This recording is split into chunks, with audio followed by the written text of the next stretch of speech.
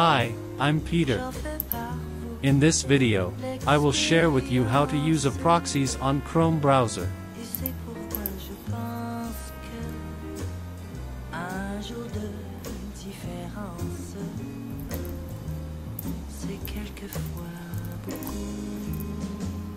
On the Chrome browser, you download the Proxy Helper extension, the extension installation process.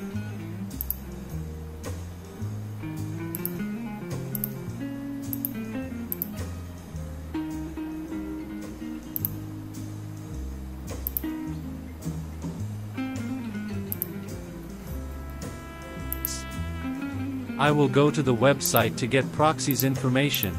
You are free to open this extension. Then copy the proxy's information to fill in this utility according to the instructions. This utility uses the HTTP protocol only.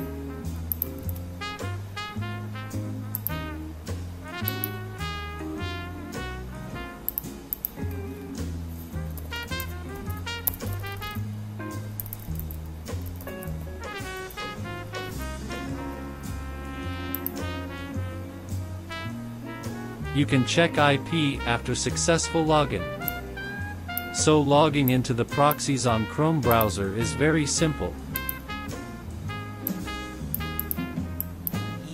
Faut bien peu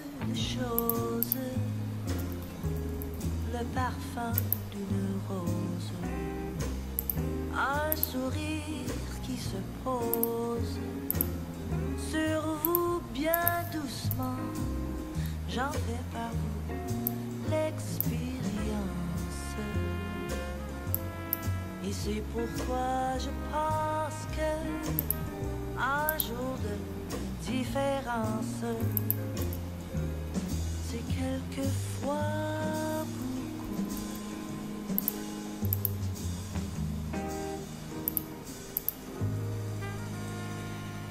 If you have any questions or come back to comment.